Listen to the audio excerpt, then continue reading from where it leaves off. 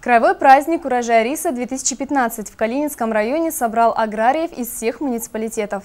Поздравить лучших рисоводов Кубани прибыли глава региона Вениамин Кондратьев, вице-губернатор, министр сельского хозяйства и перерабатывающей промышленности края Андрей Коробко и председатель законодательного собрания края Владимир Бикетов. В числе награжденных на мероприятии делегация из Славянского района. С подробностями наши корреспонденты. На площади перед Калининским домом культуры с самого утра развернулись куреня муниципальных образований и сельских поселений. Кроме того, работала выставка, посвященная белому золоту Кубани. В экспозиции, в частности, были представлены разнообразные блюда, приготовленные из риса. Часть выставки организаторы посвятили сортам, созданным учеными Всероссийского научно-исследовательского института риса. Официальную церемонию награждения передовиков жатвы открыл губернатор. Обращаясь к рисоводам, Вениамин Кондратьев отметил, что в этом году на Кубани собрали рекордный урожай зерна – 14 миллионов тонн тонн. Свою лепту внесли и рисоводы. Валовый сбор белого золота превысил 945 тысяч тонн. Средняя урожайность более 70 центнеров с гектара. Все молодцы.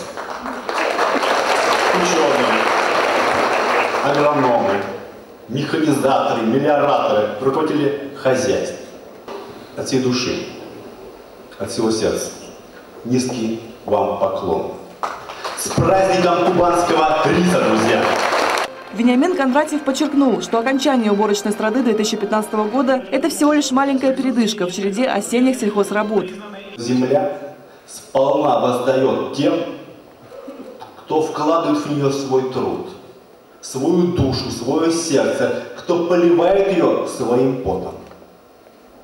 И сегодняшний, нынешний урожай, ваш урожай, тому подтверждение. Председатель ЗСК Владимир Бикетов также поздравил кубанских рисоводов с окончанием уборочной страды. Рисоводы сегодня работают на перспективу. Они делают все для того, чтобы э, вот эти очень высокие урожаи, высокие валовые сборы, чтобы они стали стабильными. Действительно, э, более 70 центнеров с гектара – это очень весомый, очень мощный урожай.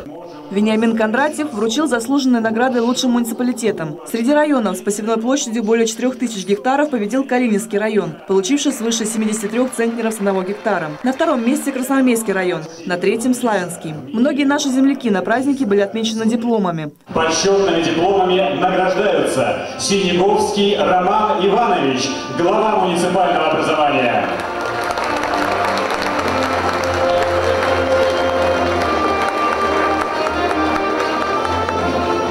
Письма Евгений Алексеевич, заместитель главы муниципального образования, начальник управления сельского хозяйства.